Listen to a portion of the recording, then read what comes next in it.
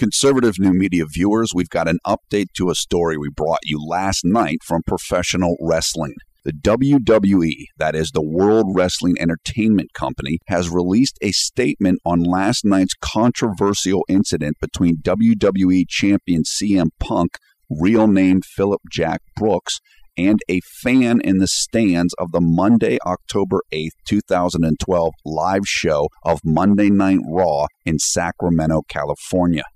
We'll include several links to articles about this story in the video description below the video player as soon as we can.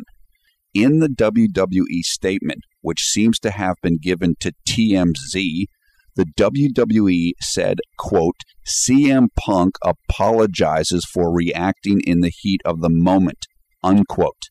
The WWE statement on the matter seems to place the blame on security personnel for what happened last night.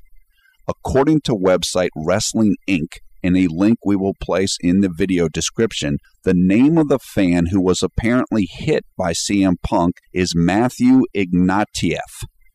There is also a YouTube video out, or a clip of a YouTube video, where it seems as though Ignatieff talks about the incident with Punk. We will work to get you all of those links as soon as we can. Keep checking the video description of this video for more updates. Now, share your thoughts about this story in the comment section below. Have you seen the video of the incident? What do you think happened? Who do you blame in all of this?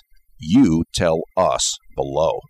Also, please vote this video thumbs up or thumbs down and let us know what you thought about it. Thanks. Finally, we encourage you to come and join the fun on the Conservative New Media Facebook group. The group has over 2,000 members and counting. You will find a link for the group in the video description. This is Paul F. Villarreal for Conservative New Media. Thanks very much for watching, and we will see you again soon.